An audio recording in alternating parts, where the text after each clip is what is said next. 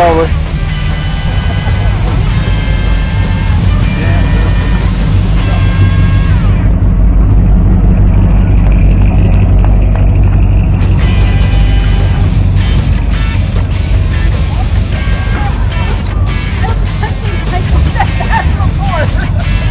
yeah, it was pretty fast. You guys are badass.